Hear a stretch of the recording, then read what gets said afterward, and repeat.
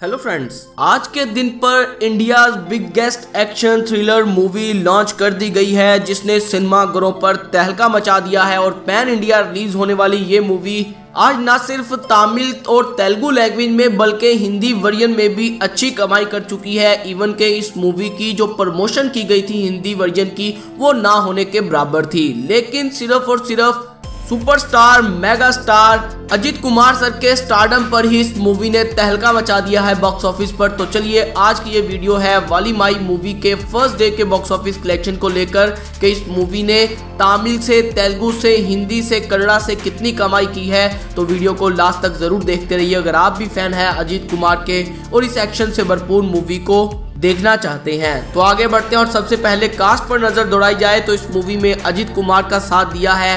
हुमा कुरेशी ने इसके अलावा कार्तिकेया गुमा कोंडा को इस मूवी में कास्ट किया गया और 179 मिनट के बड़े रन टाइम वाली इस मूवी को प्रोड्यूस किया बोने कपूर ने। और उनका कहना था कि हम 1000 से ज़्यादा स्क्रीन काउंट दिलवाएँगे इस मूवी को। हिंदी वर्जन में लेकिन उस हिसाब से इस मूवी को शोज़ काफ़ी कम की दिए गए, लेकिन फिर भी वाले माई मूवी जो एक्शन और थ्रिल और ड्रामा से भरपूर है, जिसके ट्रेलर को बहुत अच्छा रिस्पॉन्स मिला था।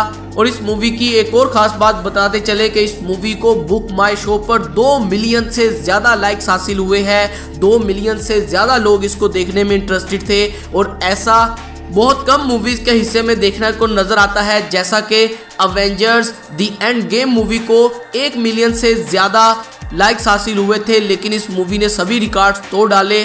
और जबकि सिनेमा घरों पर आई ये मूवी बॉक्स ऑफ़िस पर तहलका मचाने के लिए तो एच विनोद की डायरेक्शन में बनने वाली इस मूवी ने तेलुगु, तमिल, कन्नड़ा और हिंदी वर्जन से टोटल कमाई की है 46 करोड़ की। जी हाँ फ्रेंड्स सही सुना आपने।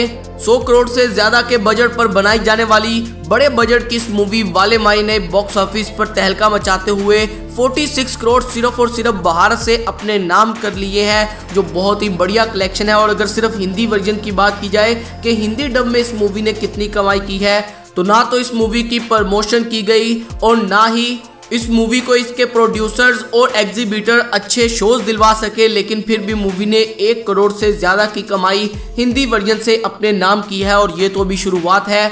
और डेफिनेटली ये मूवी दिन के खत्म होते हुए काफ़ी बढ़िया कमाई अपने नाम कर लेगी। अब बढ़ते हैं ओवरसीज कलेक्शन की तरफ़। तो विदेशों से इस मूवी ने 12 करोड़ अपने नाम किए हैं। तो इस तरह इस मूवी का अगर भारत का ग्रॉस कलेक्शन और ओवरसीज का ग्रॉस कलेक्शन जोड़ लिया जाए तो movie total world widely 58 crore plus की कमाई अपने नाम कर चुकी है और तेलुगु और तमिल में तो बहुत सारे लोकेशंस पर हाउसफुल शोज़ बैनर देखने को मिले। और ये भी बात है कि इस मूवी को सऊदी अरेबिया में भी लॉन्च किया गया। वो भी 40 प्लस लोकेशन पर, जो कि अब तक की रिलीज़ होने वाली सबसे बड़ी मूवी रही, जिसे इतने बड़े लेवल पर रिलीज़ किया गया है सऊदी अरेबिया में भी और इसके साथ दूसरी ओवरसीज मार्केट में भी। तो क्या आप भी फ़ैन हैं अजीत कुमार सर के और उनकी इस मूवी को लेकर आपका क्या है कहना? क्या ये मूवी बॉक्स ऑफ़िस पर हिट रहेगी? सुपर हिट या के ब्लॉकबस्टर अपना कमेंट ज़रूर पोस्ट करें और ऐसी वीडियोस के लिए अपडेट्स के लिए मूवी कॉर्नर को सब्सक्राइब करें और बेल आइकन पर भी क्लिक करें ताकि सभी मूवीज़ की अपडेट्स आप तक पहुँचे हर दिन के आगाज़ से। Thank you